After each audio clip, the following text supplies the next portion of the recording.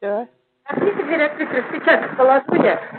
Зайти в подъезд – дело нескольких минут. Позвонила в квартиру под любым предлогом, и дверь открыта. Найти подходящую жертву тоже было несложно. А там сидят бабульки, они все расскажут. Они сказали, да вот дом напротив, там сто процентов одна умерла, другая э, это сдает.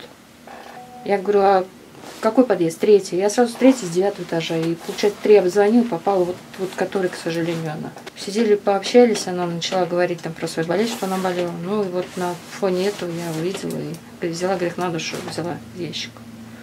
Что в ящике было? Денежные средства. Сколько? Ну, как оно тоже 10 тысяч. Я не могу утверждать, там было 500.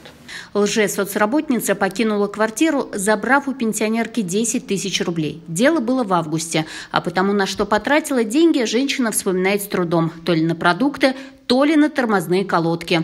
Несмотря на раскаяние, в конце октября женщина вновь постучалась в квартиру. На этот раз жертвой стала 84-летняя жительница Кировского района. У нее злоумышленница похитила около 6 тысяч рублей производстве следственного отдела, отдела полиции номер 3, находится два уголовных дела, возбуждены по фактам краж денежных средств из квартиры у двух потерпевших престарелого возраста.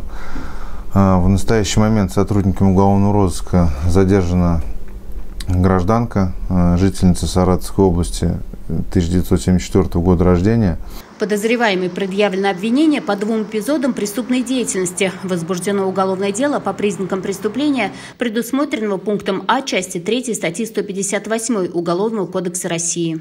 В настоящий момент данная гражданка проверяется на оперативно-следственным путем на причастность к серии аналогичных преступлений как на территории города Саратова, так и на территории Саратовской области. Расследование уголовного дела продолжается. Если вы или ваши близкие пострадали от противоправных действий данной гражданки, сообщите об этом по телефонам, указанным на экране. Эллада Абжалимова, Анатолий Чернов. Дежурная часть «Саратов».